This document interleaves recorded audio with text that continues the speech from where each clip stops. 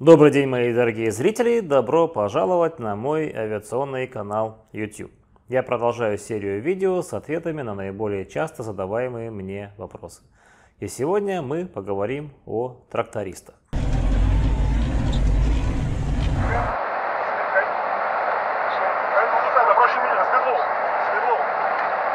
Почему пилот орудует штурвалом, аки тракторист?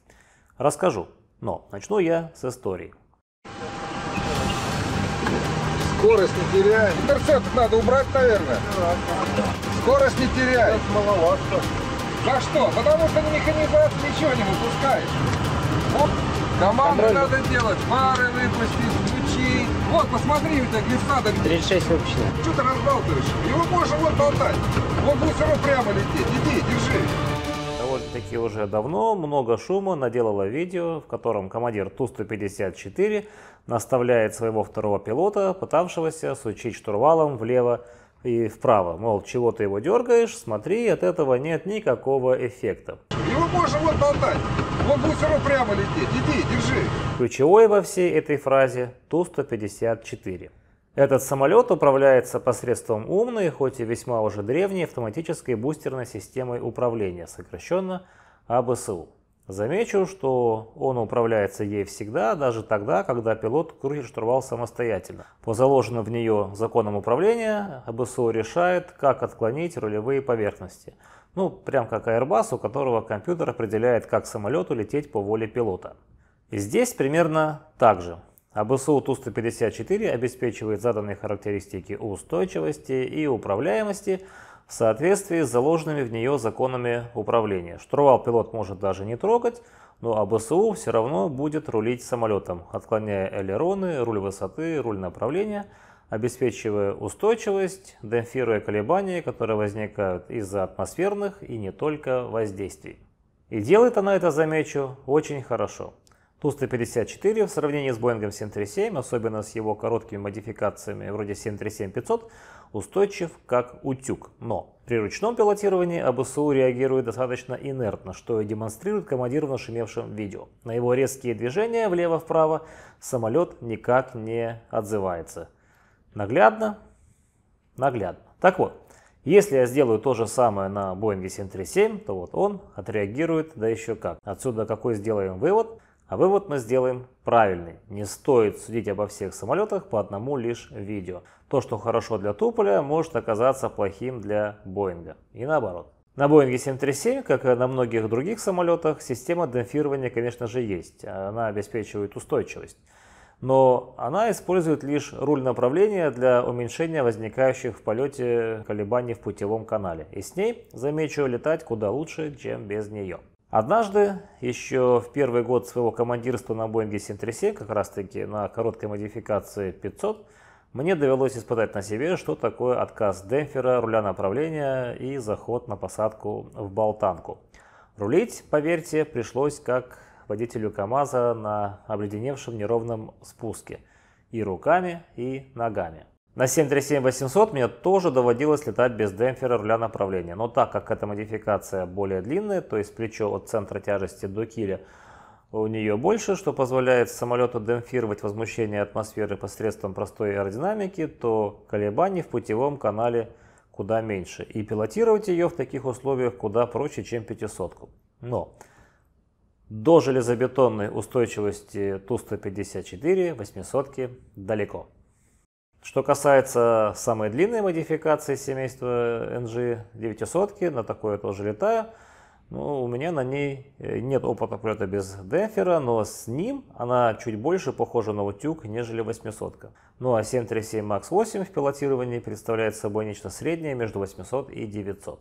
А Каратыш 500 сегодня мне представляется чуть ли не истребителем. Такой чуткий, Юркий, отзывчивый самолетик, болтающийся в потоках воздуха, как бревно на перекатах.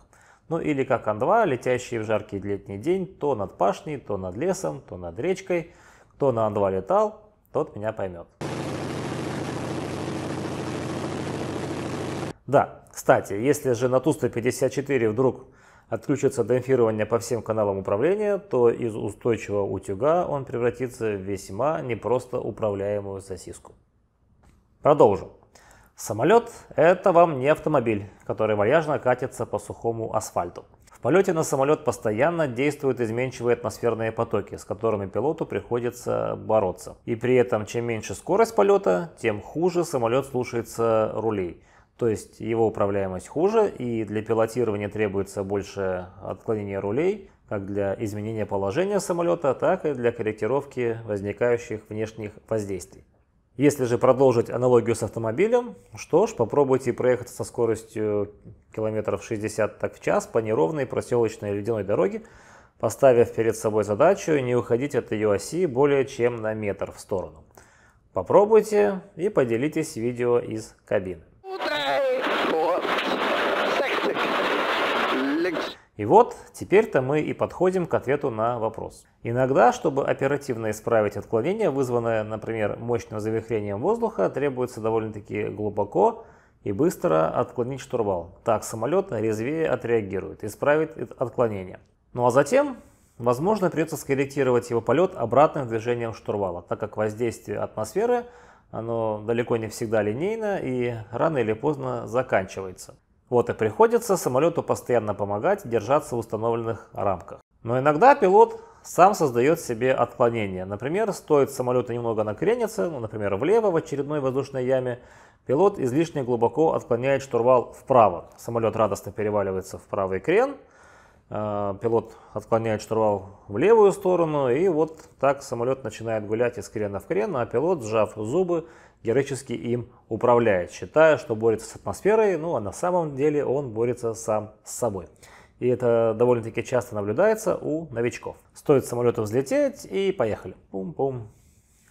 Замечу, что на видео из кабины чаще всего не видны отклонения, которые пилот исправляет. Я имею в виду влияние атмосферы на тангаж или на крен, потому что они еще незначительные. И это, собственно говоря, и вызывает вопросы у любопытных – ведь им-то кажется, что самолет никак не реагирует на штурвал. На самом деле потому и не видно, что пилот эти отклонения уже пресек, почувствовал их развитие в самом зародыше и парировал. Как вы думаете, чем пилот чувствует такие отклонения? Отвечу, своей пятой точкой, пятой точкой, ну или же глазами, если чувство самолета попой у него еще не развито. Кстати, наличие последнего и отличает опытного пилота от новичка. Не надо забывать и про инертность самолета. Пассажирские лайнеры это не истребители и не Cessna 172. Они не реагируют на отклонение органов управления так же стремительно. Поэтому приходится да, шуровать штурвалом. И при всем при этом пилоты пассажирских самолетов поставлены в очень жесткие рамки так называемого стабилизированного захода на посадку – по скорости полета, по вертикальной скорости снижения, по диапазону использования тяги двигателей и по положению самолета относительно профиля снижения, по кренам, по выпуску механизации и, и так далее, которые соблюсти в бурлящей атмосфере ой как непросто. Ну а поряд за несоблюдение критериев ой как больно. То есть хошь не хошь, но отклонение придется исправлять, чтобы удержать самолет в узких рамках правил, а свою попу, свой инструмент пилотирования от наказания. Конечно, штурвал можно вообще не трогать, и самолет все равно будет лететь. Но он будет как-то лететь, болтаясь в воздушных потоках, как бумажный кораблик в весеннем ручье. Лететь строго по глиссаде он, конечно же, не будет и на полосу не попадет. Пассажиры расстроятся. Поэтому что? Приходится самолетом управлять, шуровать штурвалом, аки дядя Паша на газоне. Вы спросите, как работает автопилот? Ну, наверное, куда лучше пилота? Давайте я покажу, как работает автопилот при выполнении захода на посадку в неспокойной атмосфере.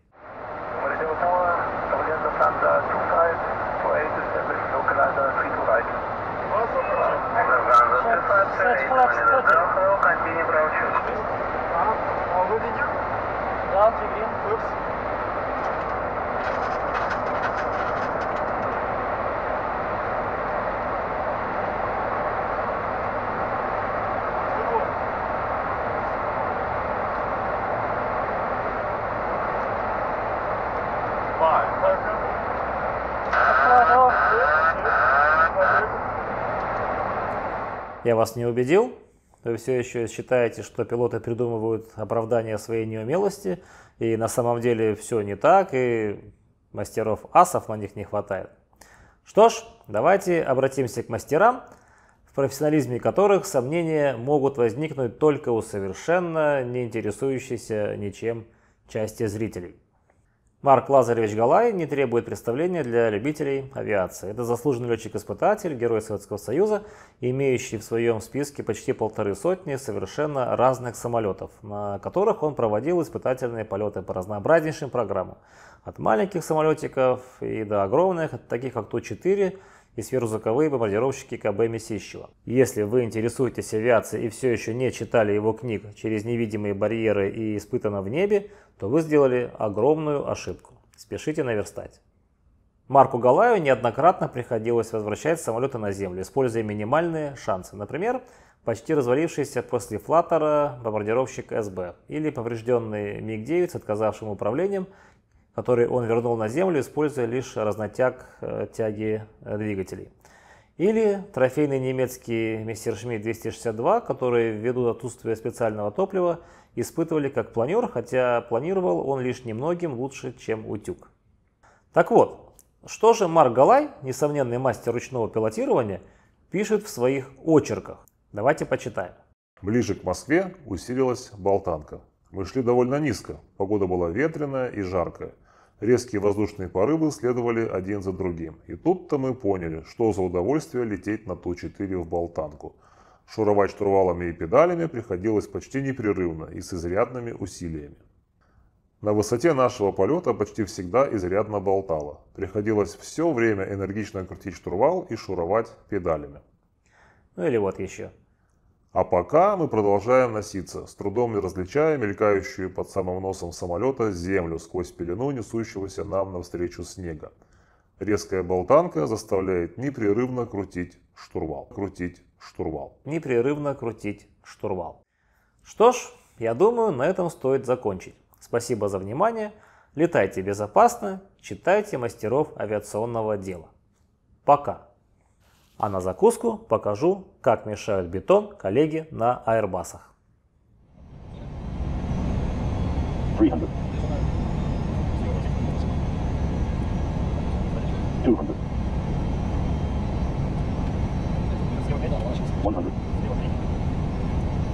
50, 40, 30, 20, retard, retard, retard,